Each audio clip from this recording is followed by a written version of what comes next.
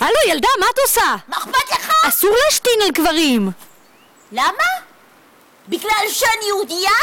לא, בגלל שאני חס- יהודייה? חס וחלילה, מה פתאום? למה? לכל אחד אסור להשתין על קברים! זה בית קברות יהודי?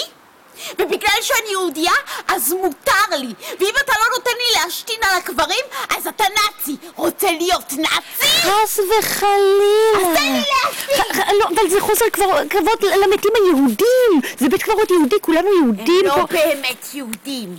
הם לא היו בשואה! אבל- הם לא היו בשואה, ומגיע להם שנשתין על... הם לא עשו לך שום דבר רע!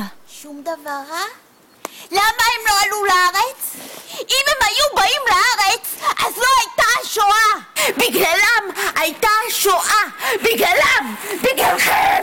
בגללכם! בגללכם הייתה השואה! בגללכם! למה אתה לא עולה ארצה? למה אתה לא עולה ארצה?